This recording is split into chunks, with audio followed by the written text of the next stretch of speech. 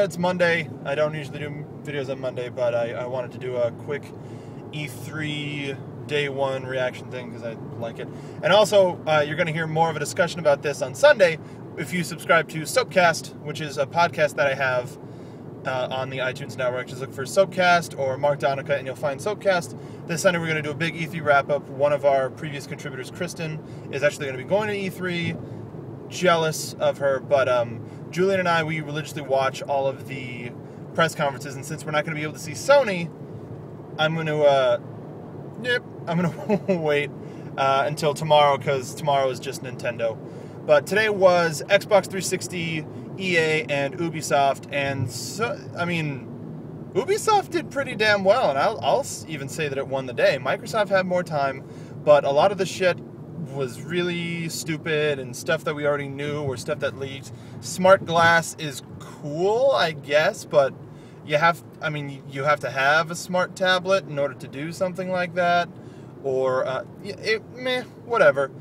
And the uh, the games, I mean out of the games that they showed, there weren't any great exclusive Halo, whatever. Halo's Halo, it looks like Halo.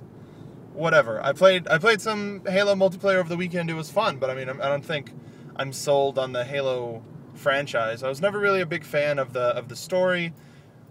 Uh, the the idea of campaign multiplayer that they release weekly is is a pretty cool idea and, and something that I'd be interested in. Story based uh, DLC that's kind of free would be great. I like that.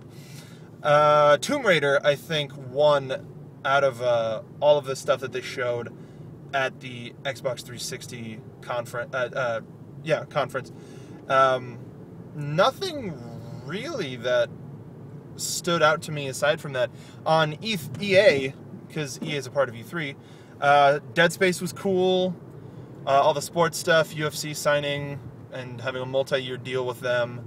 So it's just going to be like UFC 13 or UFC 14. I like the um, the enhancements with Kinect that they're doing. Uh, what other game? Oh, the uh, Need for Speed Most Wanted looks good, as most Need for Speeds did. I was sad that we didn't see anything about Mirror's Edge 2 because that's been I'm driving if you can't tell because that's been rumored to be in development for a while, and at least like a little teaser would be great because I mean that's what a lot of last year was teasers of stuff that we actually got to see mechanics of this year, and Ubisoft. I think so far has the game of show with Watch Dogs, which is which I'm describing as a, uh, a futuristic Assassin's Creed because you get to you get awesome future tech. Somebody on Twitter put it best: if all of Ubisoft's franchises had a baby, it would be Watch Dogs. If you haven't seen any of the stuff for it, go and watch the gameplay that they did. It's phenomenal and amazing. I, I would say that it's getting me more excited than um, Assassin's Creed 3, but that'd be a lie. Uh, they showed a lot of gameplay for Assassin's Creed 3, and it looks beautiful and pretty, and Connor is killing people in red coats with all sorts of great weapons. If that's not on your radar, it should be. Highly, highly, highly excited for that one. Highly excited. Who the fuck says that?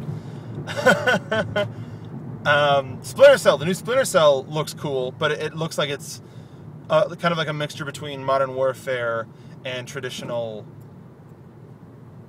fare in terms of uh, traditional fare, traditional uh, Splinter Cell gameplay. Very good action, like movement kills where you're walking through and you're just like badassery taking people out. A lot of coolness. The, I mean, in terms of the games, it was great, but for the uh, conference itself, got to give it up to my man Buscus. But um, he and Aisha just were not clicking.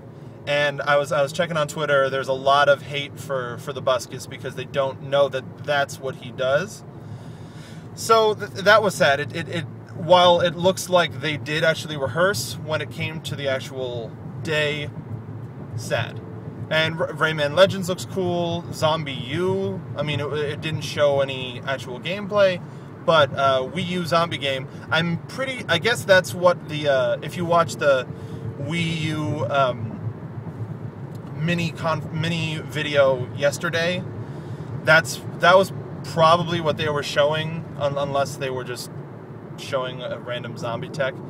But yeah, I mean, I, I, I hope that Sony comes out to tonight and and wins the rest of wins the day. I think it will. It's got a lot of stuff that uh, it could show, and a lot of surprises that it could have in store. And Nintendo too. Nintendo isn't going to be spending a lot of time on explaining the Wii U hardware anymore because they did that for Sunday. So I think games, games, games is gonna is what. Well, they're and they're gonna do the regular. We sold this many consoles this year. They're probably gonna show a new 3DS, like a, a 3DS XL, and and I just want to see games.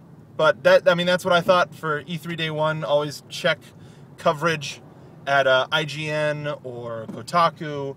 A lot of good stuff. There's police. So I'm gonna end it now.